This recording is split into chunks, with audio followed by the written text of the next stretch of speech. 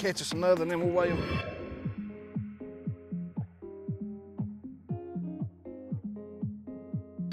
Hi guys, Buddy Gross here, Bassmaster Elite. I want to talk to you a little bit about my hair jig setup and how I throw it and kind of how I work it based on the conditions. I always throw it on a 7.3 heavy rod. Uh, I try to use a fast retrieve reel like a 7.3. I've not gone into the 8 yet. I'm still play, playing with that a little bit. But it's always going to be a faster retrieve reel.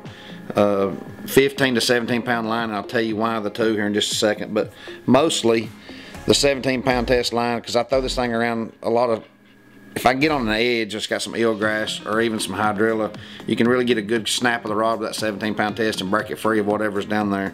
But but this is an open water bait, ledge bait. It can be on a rock. It can be on the, you know the hard grasses. It's kind of hard to throw it in milfoil or even coontail. It's really bogs down. So this bait right here, I try to keep in clear in water or a harder grass type deal. And I like to get it at where I take it, throw it out, let it go to the bottom, I'll give it about three or four really good cranks and then I kind of snap my rod. And the only reason I snap the rod, it's a little bit awkward. If you snap the rod, it falls on a little bit of a slacker line. It gives it more of a natural dying look.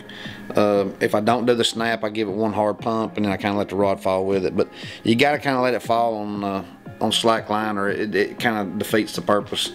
Uh, and then if I do a lighter version, like a half ounce, I'm trying to go after these suspended fish. I go down to 15 pound test line and I do a lot of countdown stuff.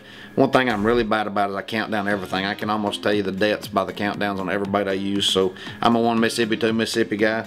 So if I'm fishing in 10 feet of water or, or, even let's just say if I'm fishing 20 feet of water and the fish are suspended, I'll usually use like a seven to 10 count and I'll stay above the bottom and then I'll just burn it stop it, burn it, stop it, never let it go to the bottom of those suspended fish.